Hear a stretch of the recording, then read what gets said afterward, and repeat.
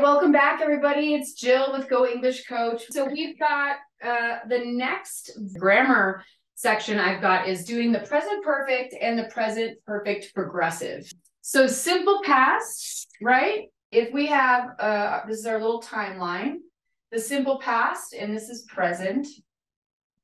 Here, simple past is just a one point in time that is started and stopped in the past one point of time, okay? Present perfect is something like this that starts in the past and continues to today. Or it might have ended in the past as well. I have built a house. Let's see. So it started in the past and maybe it didn't get finished. So I have built a house that is something that is done. Okay. I have lived or I have been building a house. Boom. This is present, started in the past, and it's continued to today, and it's probably going to go into the future. Okay. And it, we usually here discuss a period of time with that as well. Okay. So let's just take a look. So this is, we use this in describing something that happened and completed in the past, okay? So when we use present perfect, it's something that started in the past, but might not be finished. So you can say, I have lived in uh, Montana for 10 years, okay? Um, I can also say, I have been living in Montana for 10 years. Now, the question then is, is what's the difference between those two sentences? Is there a grammatical difference? I have lived in Montana for 10 years. That means, let's make our little chart here. Okay, so if that means 10 years ago, um, this is now. I started, this is 10 years ago. Okay. I started living in Montana 10 years ago. And I still live in Montana. And it's possible that it will continue into the future. Okay. I'm pretty sure I'm not moving from this state very soon. okay. So I have lived in Montana for 10 years, but um, so it started in the past and it has an indefinite ending. The ending is not, we don't know when it's going to end, if it's going to end, okay? So it started in the past and continues to today, okay? And notice how I used this. If I say for, I can use a period of time. So for, we're going to use for and since. These are your two main, when we start giving a timestamp to it, we're going to use for. We're going to use for to talk about a period of time. Okay. And we're going to use since when we have a point in time.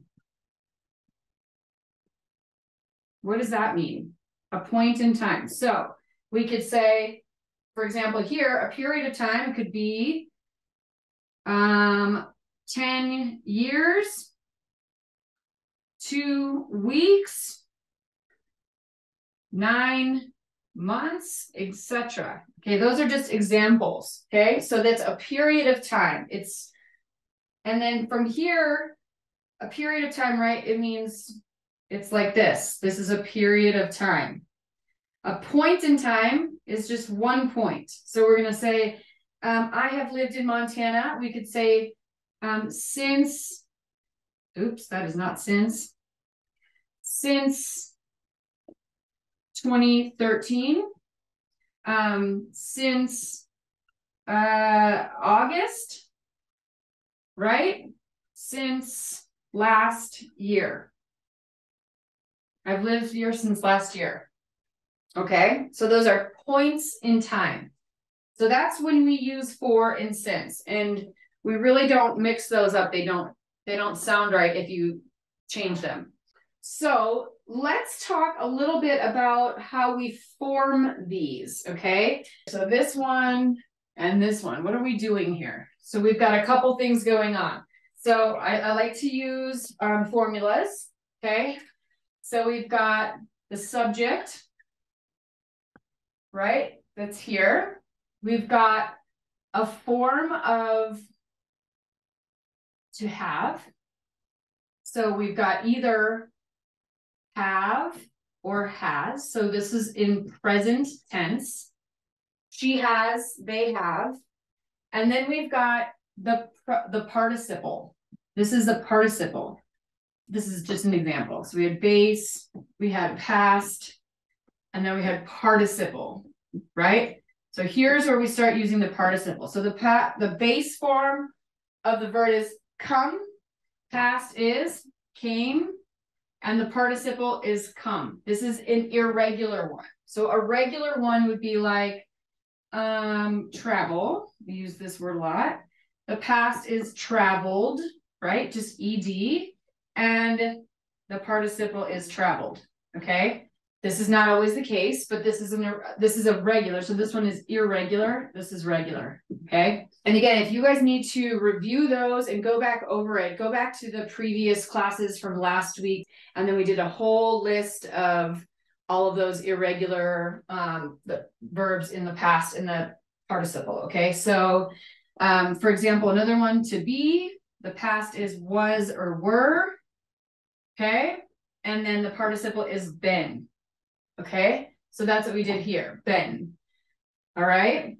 So what we're using for this here is the participle, this part, which sometimes looks just the same as the past tense, and sometimes it does not. So you really need to practice those, okay? So this is our formula. I have built a house. That is something that started in the past and is now completed, okay? Let's do a couple more of these. I have lived here. Let's use since or for since 2000. Okay. Let's see a couple more examples. Let's see. She has read the book. Okay. Here you don't need to have something um, like a timepiece. So she has it. Also, you could say she's read. Okay. How about this? I've been to the museum. I've been there. I've been there. I've been to the museum. Okay. Great. Okay. And then let's let's add on to this and look at this. This present perfect progressive, you use have been and then another form of the verb. So I have been trying. Um, I have been trying to get a hold of him. So what do we have here? So we've got the subject.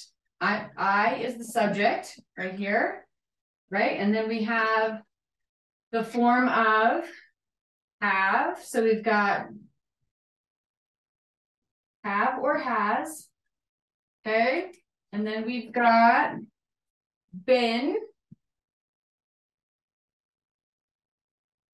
Okay. And then we have trying. That's the last part here. So we've got the main verb with, so ing. And then you've got the rest of the sentence. Okay. I have been trying to get a hold of him. Um, so you've got lots of verbs here. This is your um, main verb. These are auxiliary verbs. You've got one auxiliary verb, two, the main verb, and then you're also talk of to get a hold of is another verb. Okay. I have been trying to get a hold of him. What does that mean? It means like to contact. Like maybe you're trying to call somebody, or maybe you're emailing or texting, but it's the what you are implying is that this person is not answering and is not getting back to you. Okay. Okay, great. Okay, let's do a little bit of practice. Sometimes I think that these grammar presentations can be very difficult. And then when you start practicing it, it's just like so much easier. Okay.